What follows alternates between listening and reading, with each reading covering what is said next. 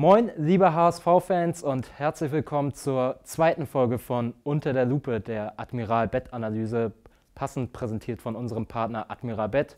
Ihr habt die erste Folge sehr gefeiert, habt uns ordentlich positives Feedback gegeben, daher starten wir jetzt in die nächste Folge und dazu begrüße ich ganz herzlich unseren Co-Trainer Merlin Polzin. Moin Merlin. Moin, hi.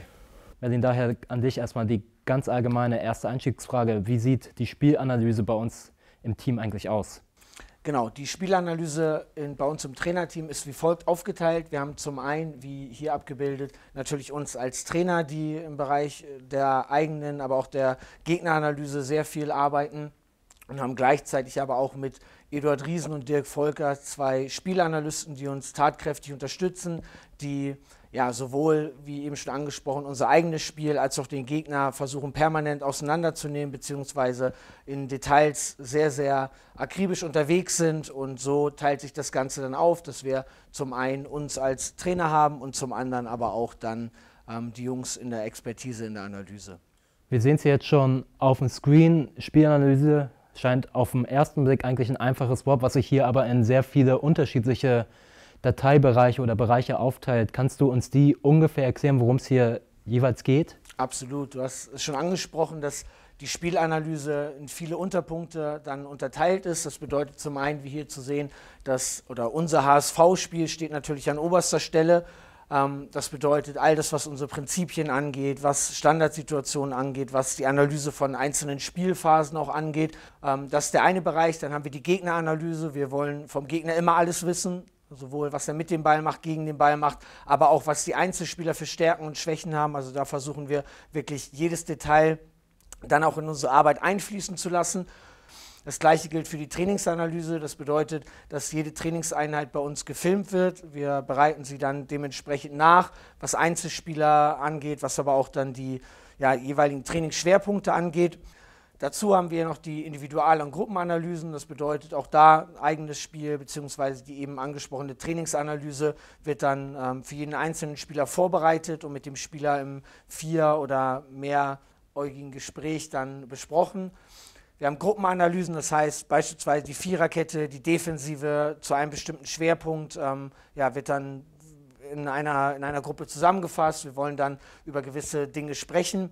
Die können aus unserem eigenen Spiel stammen oder aus dem, wie in dem nächsten Bereich zu sehen, aus einer Benchmark-Analyse, wo wir uns dann zehn ähm, von anderen Mannschaften anschauen, von anderen Spielern, um auch von denen zu lernen, weil es, wie angesprochen, um einen permanenten Lernprozess geht. Und gleichzeitig spielt natürlich auch die Datenanalyse für uns einen wichtigen Baustein, ein wichtiger Baustein.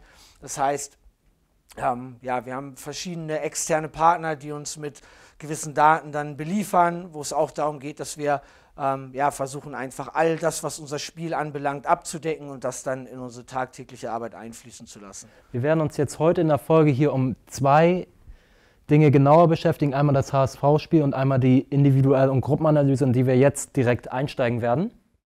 Wir starten mit der Individualanalyse und wir machen das Ganze am Beispiel von unserem Sechser Jonas Meffert. Wir haben uns im Vorhinein darüber unterhalten, dass es auch um Kriterien geht, die ein Spieler erfüllen muss. Sind diese Kriterien für alle Spieler gleich oder gibt es da auch Differenzen zwischen einzelnen Positionen, einzelnen Spielergruppen, anderen Dingen? Absolut. Unser Fußball ist so aufgebaut, dass wir an oberster Stelle die Werte haben, für die wir als HSV, als Mannschaft stehen wollen. Darunter folgen dann die Prinzipien. Das sind ähm, ja, gewisse Dinge, die im Spiel mit und gegen den Ball dann immer gelten, unabhängig von Spielstand, von ähm, ja, Spielminute, ähm, vom jeweiligen Gegner, ob Heim- oder Auswärtsspiel, das ist völlig egal. Und darunter gibt es dann gewisse Dinge, die sowohl für einzelne Spielphasen für uns wichtig sind, aber auch für den einzelnen Spieler. Und definitiv ist es dann so, dass die sich unterscheiden, je nach Positionsgruppe, weil natürlich für am Beispiel Jonas Meffert für den Sechser gewisse Dinge wichtiger sind, beziehungsweise häufiger im Spiel vorkommen, als dann für einen Flügelspieler oder einen Außenverteidiger. Genau, und dieses erste Kriterium, was du uns rausgearbeitet hast, das werden wir uns jetzt mal ansehen. Wir können gerne die Szene laufen lassen. Das ist aus der Hinserie gegen Bielefeld das Auswärtsspiel und du kannst gerne mal beschreiben, was macht Jonas Meffert da. Es ist nur ein ganz kurzer Clip, aber. Genau, wir haben hier, stopp einmal, wir haben hier wie eingeblendet ähm, Jonas im ja, Sechserraum positioniert. Wir haben den Schwerpunkt, wenn wir jetzt einmal langsam weiterlaufen lassen, dass die Spielfortsetzung von ihm stoppt, dann in dem Fall mit dem Rücken zum gegnerischen Tor erfolgt und wir wollen mit unserem Sechser im besten Fall immer wieder eine offensive Fortsetzung haben. Unser Schwerpunkt war dann daraus, du hast es schon angesprochen, dass in der Hinserie diese Szene stattfand, dass wir mit unseren zentralen Mittelfeldspielern immer wieder daran arbeiten wollen, was ja, die Positionierung im Raum angeht, was ähm, dann natürlich die Ballan- und Mitnahme angeht, aber vor allem, was vor dem Ball im, oder vor der Ballmitnahme passiert. Das heißt, die Orientierung, das sogenannte Spielfeld-Scan war ein großer Schwerpunkt, den wir mit MEFO immer wieder ja, versucht haben zu trainieren, beziehungsweise immer wieder einzufordern. Und ähm, ja, ich zeige euch dann gleich mal, was daraus geworden ist. Genau, du, du sprichst es schon an, Spielfeld-Scan und ich glaube, die Szene ist dafür ganz exemplarisch, das ist aus dem Wintertrainingslager. Genau, wir haben hier einfach mal exemplarisch dann Mefo mit einer Kamera gefilmt, die extrem nah dran ist, wo es einfach nur darum geht, zu sehen, wohin schaut er, beziehungsweise wie schaut er, wie ist er positioniert. Und wir sehen es dann eingeblendet, es sind dann jetzt schon innerhalb von 10, 11 Sekunden auch wirklich dann 11, 12 Blicke, die er immer wieder für die Spielfortsetzung wählt. Stopp. Und für uns ist es ganz entscheidend, dass wir es immer wieder schaffen, als Spieler, der nicht unmittelbar in Ballbesitz ist, zu überlegen bzw. zu überprüfen, wie wird das Spiel fortgesetzt. Wie muss ich mich positionieren, dass ich den Ball bekomme.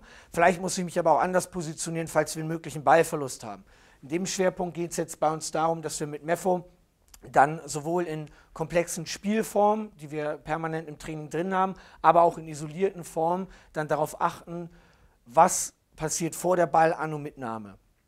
Wir haben hier ein, ein Trainingsbeispiel, wo es darum geht, wenn wir einmal stoppen nochmal, wo wir ähm, den Ball immer wieder auf Mefo spielen. Es steht in einem ganz engen Raum. Es ist kein aktiver Druck dadurch ein Gegenspieler, sondern eher durch Provokation, was Signale angeht. Ein Signal ist dann, dass wir ähm, ein Leibchen zeigen. Die Tore haben unterschiedliche Farben ähm, auf welches Tor gespielt werden kann. Das andere Signal ist auf der ballfernen Seite, sprich in dem Fall jetzt, wenn wir noch einmal zurück machen, der Spieler, der im Ballbesitz ist, der eine Spieler, der Spieler auf der ballfernen Seite, wenn wir es einmal durchlaufen lassen, ist der, der ihm das Signal gibt, wie das Spiel fortgesetzt wird.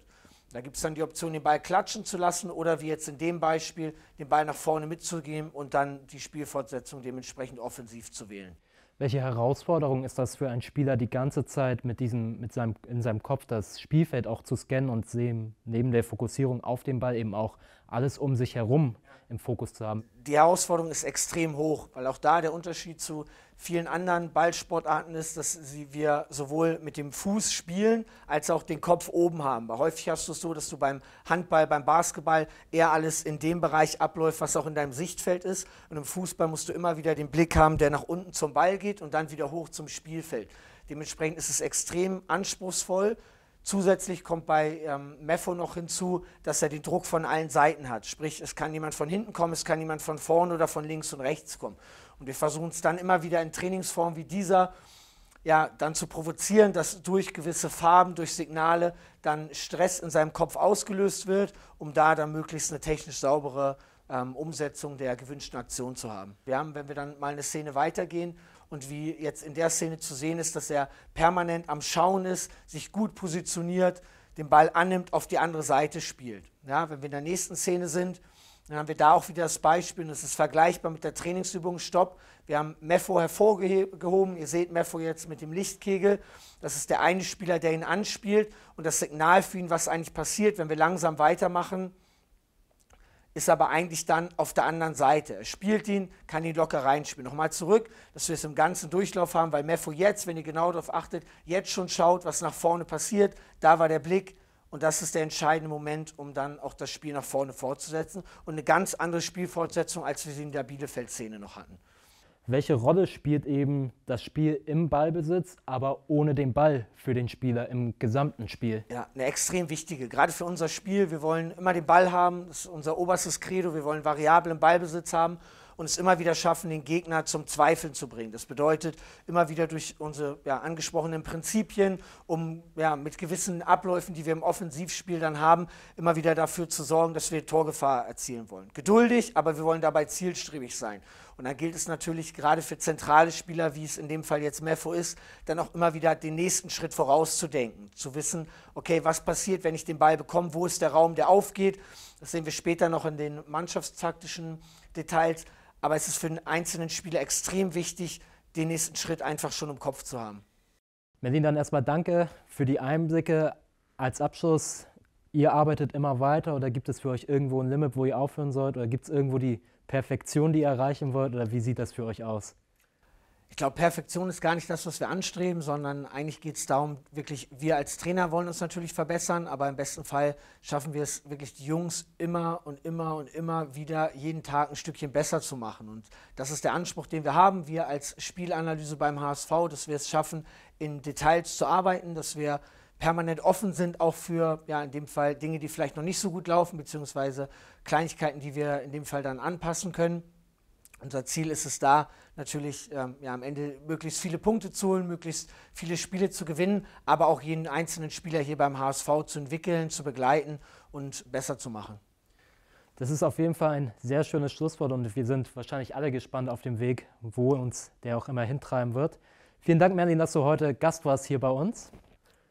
Und dann vielen Dank an euch alle zu Hause fürs Zuschauen. Schreibt uns gerne wieder in die Kommentare das Feedback zur Folge. Vergesst nicht, unseren YouTube-Kanal zu abonnieren. Und ansonsten verbleiben wir wie immer mit den drei Worten zum Schluss. Nur der HSV.